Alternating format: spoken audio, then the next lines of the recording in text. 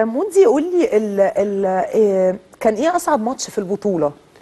آه ال final بتاع ليبيا كده كده والإمارات اللي كان قبليه. كانوا الاثنين صعبين جدا. الامارات أول ماتش لعبناه في البطوله خالص آه أول ماتش يعني في البطوله كان كسبناها فرق points كتير جدا يعني بس match ال semi final أنا عارفة إن الفرق وصل الشوط الأول خلص واحد ليكوا تقريبا أو حاجة كده فرق اللي هو أول اتنين. quarter آه فرق قليل جدا. بس التالت والرابع يعني عرفنا نرجع ونكسب فرق تاني كبير.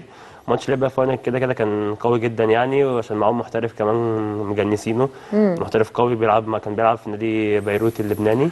فمحترف قوي جدا. فماتش ليبيا final كان صعب بجد آه صعب قوي ليبيا كانت حصان أسود في البطولة دي؟ آه طبعا. هو منتخب ليبيا عامة على مر التاريخ يعني عامة حتى لما بنلعبهم في ال- لعب أي نادي مع الزمالك الفرق الليبيه ما بتبقاش قوية جدا يعني ما بتبقاش قوية قوي إحنا رحنا البطوله بتاع قطر دي كسبنا نادي الأهلي طرابلسي هناك فهي مش تعتبر فرقة قوية. يعني اتفاجئنا في بطولة عربية إن هم عندهم فعلا منتخب قوي جدا ويعني بعد كده هيبقى منتخب بينافس على كل حاجة.